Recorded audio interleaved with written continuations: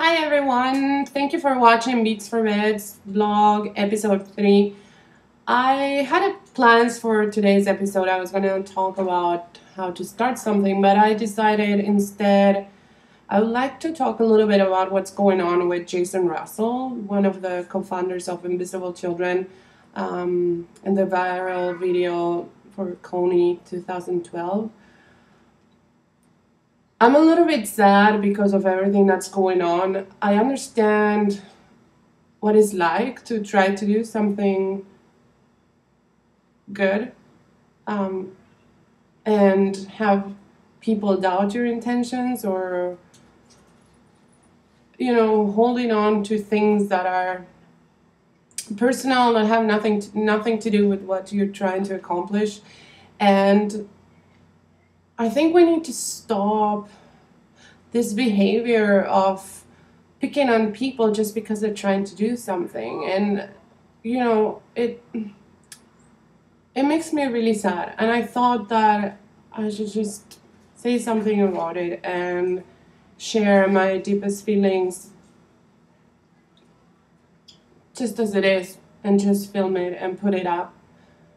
I think it's important that we recognize as people that the fact that someone is trying to do something, regardless of how small or how big, that should be reason enough to celebrate and to to be compassionate of, of the process, I, I guess, because I've read so much in the news. First, it was uh, criticized for spending money on on a production to make a video. First of all, we don't know that. We don't know if there was a budget aside for for for making that video, and the video was watched like by almost a hundred million people, and he did something. He he he did something. He went for something he believes in. And um, I'm really sad. I'm really sad with people being so cruel to each other and just picking on each other. And now the whole thing in the media that he was masturbating in public. Then I read a different article that in fact he was just in his underwear and he was having a nervous breakdown.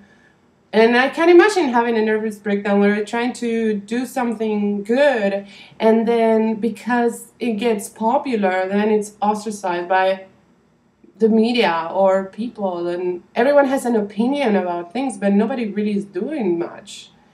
And so, I don't know, I think it's time that we we put, a, put aside our egos and our opinion on things and our ideas on things and actually start listening to each other a little bit more and and really really be generous with each other and encourage each other rather than fight each other or criticize each other or doubt each other. I think that's not productive at all. And i just wanted to say that. I don't even know how many people are going to watch this. I just, this is what I'm feeling right now, and it's very honest, and I thought I should share. Um, that's all. Till next time, which is going to be on Saturday, because I decided I'm going to do this uh, once a week now instead of twice. Is uh, it's more productive that way. So yeah, this is very honest, no edit, no cuts, no nothing, just me talking how I feel. I hope you guys have a great day and just think about it for a moment. Just be, be generous with your peers and really try to listen more than what you what you talk. That's all. Have a good St. Patrick's Day. Enjoy your night.